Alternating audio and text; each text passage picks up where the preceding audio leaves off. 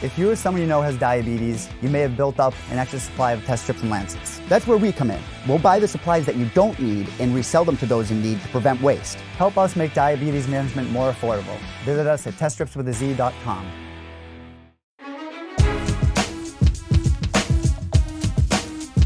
All right, we have Drakkar Klose joining us on the show. He returns to action August 17th at UFC 241 against Christos Giagos. Quite the road to get to this one, and I'm happy to be joined by Mr. Drakkar Klose himself from the barbershop of all places. How are you, Drakkar?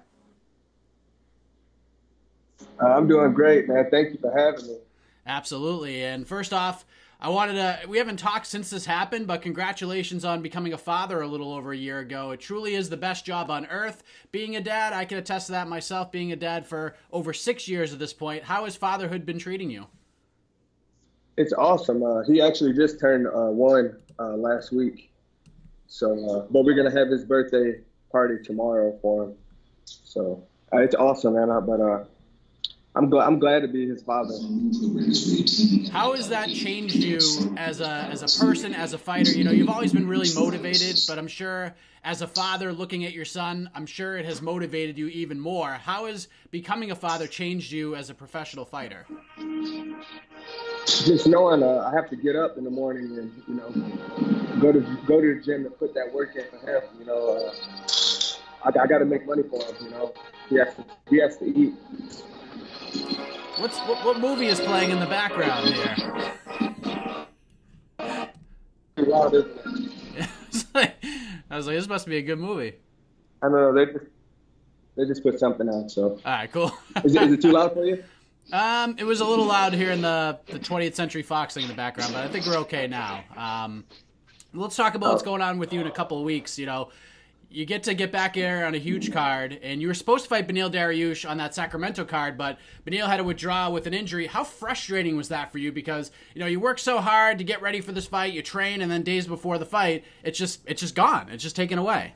Ah man, uh, it sucked. You know, uh, you know, so much time and so much money was put into that camp, and uh, not able to, you know, compete against Dariush. You know, I'm not gonna lie. Uh, I shed a couple tears. You know, uh, just out of anger. You know, um, you know, my, I signed that contract. You know, I showed up.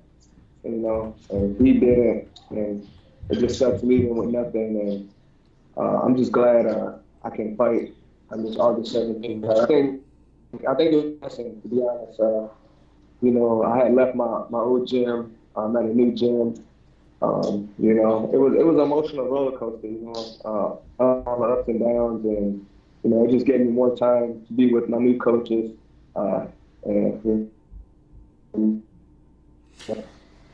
So you say it's a blessing. I know you, you were definitely not quiet about the withdrawal at all. You went on social media. Um, you thought Beneil didn't really show a lot of fortitude, especially since you've been known to fight injured with broken hands a couple of different times. Now that you've had t- time to digest everything, I know you said it was it's a blessing getting this fight and being on this card. But do you still feel the same way about the situation? you know, now it's a bigger card. There's gonna be more eyes watching, uh, watching me. Uh, you know, uh, I I think it's a step back in competition, but that's what I like about fighting. Uh, anyone can fight. You know, um, Dariush gave me a better chance to get into that top 15, and um, I don't even know the guy's name. Uh, Chris, what is it, Christos or something Christos like that? Giagos, yeah. He's three and three in the UFC. Um, but I, I know he's gonna bring it. You know what I mean? Uh, he, you know, he, he brings it in all his fights, and um, you know, you, you never can uh, count a man out. And, uh, and we, we're gonna see who the better man is uh, August 17th. After everything that happened with the Sacramento card, did it matter who it was, whether it was Christos or me or the barber that's about to cut your hair? Like, did it even matter at that point? No, it didn't. Um, you know, they gave me a couple uh, a couple options um, for the Sacramento, and uh, you know, I agreed to them. So I got happy again. Uh, and then an hour later, they called me and said uh, the guy didn't get cleared. So you know, like I said, it was a blessing. You know, it was a lot of this. You know, they tell me I have an opponent, drops out. I have another opponent. I'm happy again, and they tell me he he can't fight. So you know, it it all worked. It all worked out, man. Who did, who did they offer you, if you don't mind me asking? I know it, it, it wasn't that he was ducking you, it just he wasn't cleared. Who did they offer you? Uh, what is- what was his name? There was he trains at uh, what's the Urijah gym out there? Um, Team Alpha Male. Is that Team Alpha Male in Sacramento? Yeah, Team Alpha, Alpha Male in Sacramento.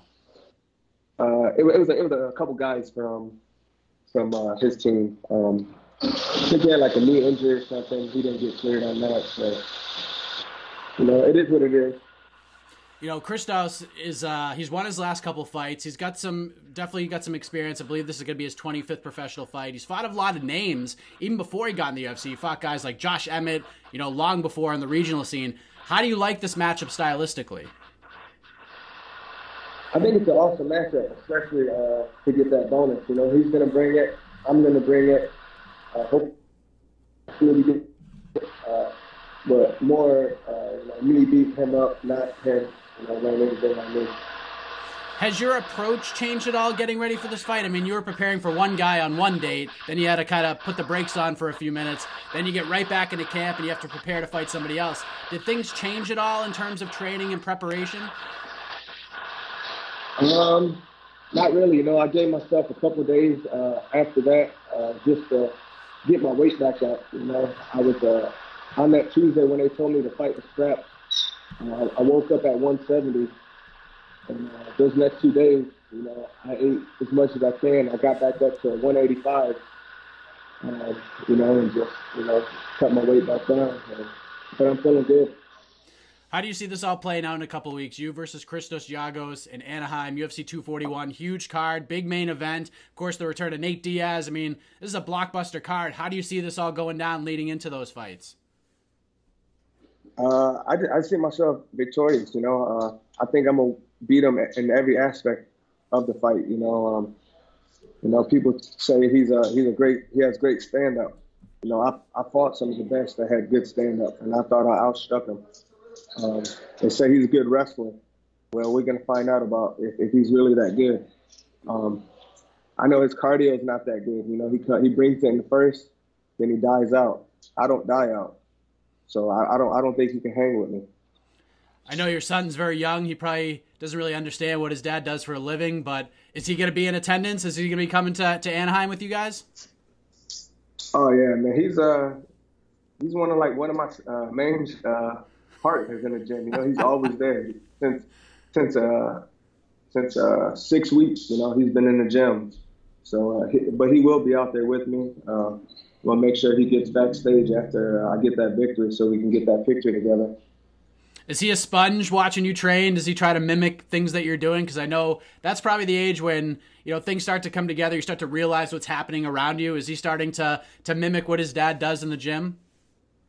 Yeah, he does. Uh, he's very advanced. You know, um, you know, I always walk around going like this to him, and now he's doing that. he's hitting the bag. It's it's awesome. That's awesome. So the more the, the, the older he gets, the more he's going to be in there doing things. That must be like kind of a strange realization for you, knowing that you know a year or two from now he's going to be running around a little bit more. He's going to be doing a lot more, and you know you're going to watch him kind of evolve in the sport, much like you did back in the day. But he uh, he obviously starting at a much younger age. Are you ready for that? Are you excited for that? Yeah, I'm. You know, I'm, I'm gonna show him everything, but uh, I, I don't want him to fight. You know, I'm gonna make sure he hits those books. You know what I mean? Uh, you know, a lot of fighters don't have uh, plan Bs after fighting. You know, if he does choose to fight, I want him to have that plan B for when that his career does end. That's a good. That's a good way to look at it. So, in terms of this fight, in the aftermath, so to speak, you know, with everything that's gone down with you, the new gym, leaving the MMA lab. I know you've talked a lot about that. You mentioned it briefly here. You know, losing the fight, getting another one. In a perfect world, if all goes well, you come out of this thing relatively unscathed. Are you looking to to bounce right back and get back in there later on this year?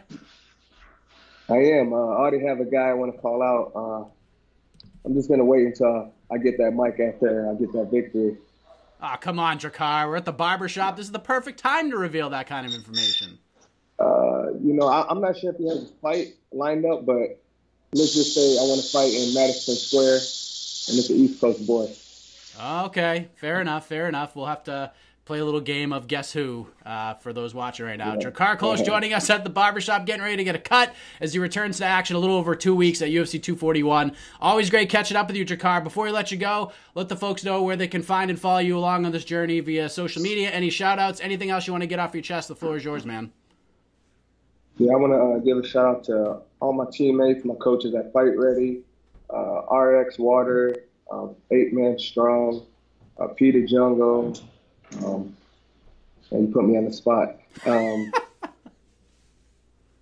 ah, you know, I just I just want to thank everyone that just supports me, man. To be honest, and uh, you can find you can find me at Drakkar Klose uh, on Instagram, Twitter, uh, Facebook. Tinder, not just playing. All the best to you, Jakar, but, uh, man. Yeah, I really appreciate it. Yeah, go ahead. Yeah, I, I, appreciate it, man. Thank you for having me on. Yeah, absolutely. Thank you for the time. We'll see you in a couple weeks. Okay, thank you.